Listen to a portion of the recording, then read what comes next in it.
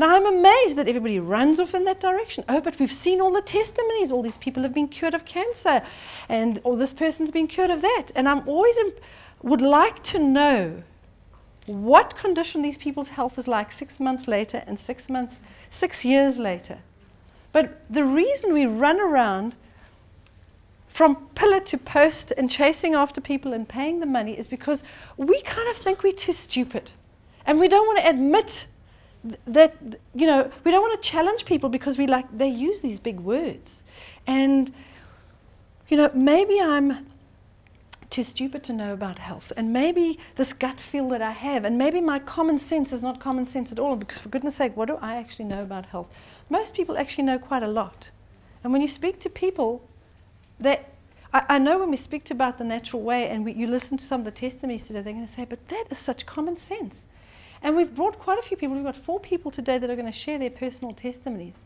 And they'll tell you how long they've been following the program they've been doing so that you can see that there's, and everybody actually eats marginally different to the next person. They're all using similar principles, but they're not all eating exactly the same. So you can see that if you've got the right principles and you understand how your body works, you don't need to be conned by the swindlers that are out there. The health industry is enormous. It is huge. It is worth billions of dollars worldwide. And every five minutes, there's another book and another product and another thing. And I'm not saying today that I'm right. I'm saying there are basic principles out there, and it's been wonderful to see over the years there are thousands of people around the world basically saying exactly what we're going to be telling you today. The most comprehensive nutritional research ever done in the world today, the China study, backs up everything we're going to be telling you today. And it's so rewarding to see that the top nutritional researchers, Professor Emeritus at Cornell University, Dr. Colin Campbell, has done years and years of study to show that basically what we're going to tell you today is really the truth. And the truth is simple enough for a small child or a poor uneducated person to not only understand but to afford. Anybody can afford to live this way. Just some of us may prefer to eat cashew nuts rather than saving the seeds inside our pumpkin as a good source of essential fats, for example. So, you know, you, you can be poor and eat very well, but you just need to know the basics.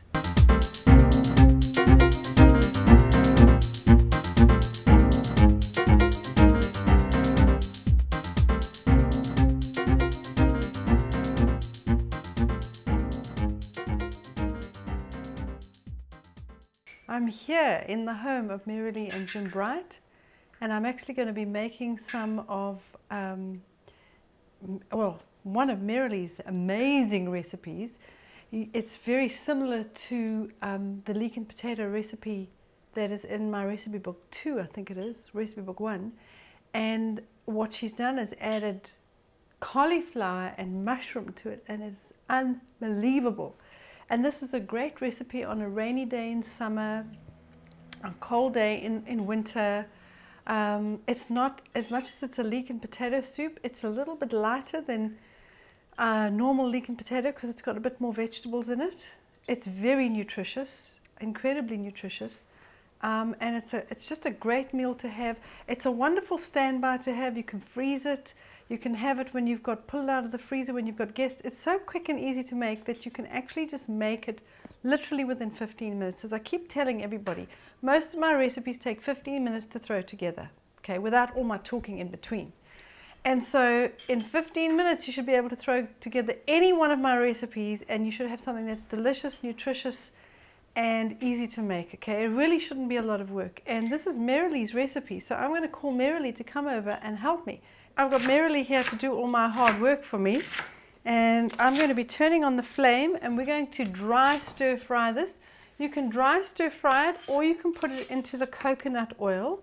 But I'm going to be making corn tortillas in the coconut oil, which you can also dry stir fry.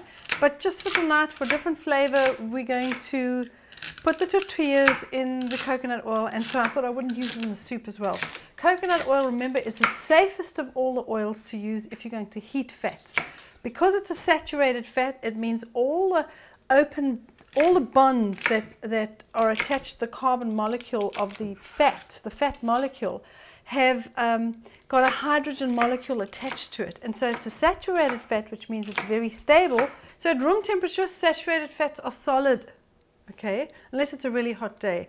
That means it's a stable fat. The reason I don't use butter as much as butter is really nice and it gives food nice flavor is it does contain cholesterol. So I occasionally may use butter, but I try and rather use coconut oil. Being a saturated healthy fat, it is very stable when it's heated. Swirl of olive oil. Um, but really what makes the soup spectacular is putting in um, some fresh cream into this.